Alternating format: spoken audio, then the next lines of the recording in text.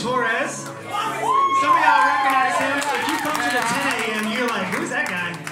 Because he's always at the noon service. Yeah, yeah, yeah. That's why, see? That's why.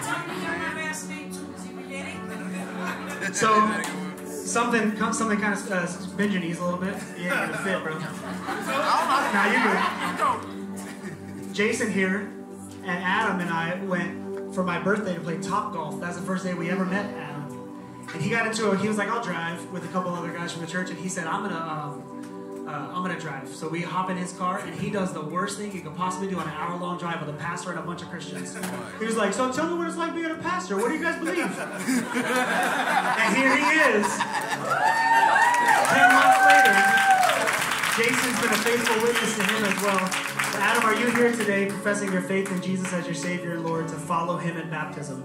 Yes. Yes, Adam! Then Adam, I baptize you, my brother, in the name of the Father, the Son, and the Holy Spirit. You are buried with Him in baptism.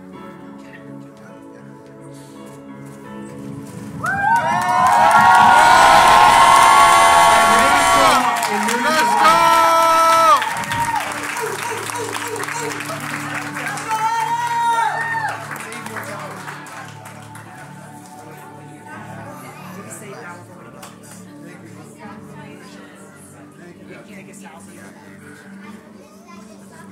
right, now Isabella. I messed that up, didn't I? I told her she was going second, and then I called out.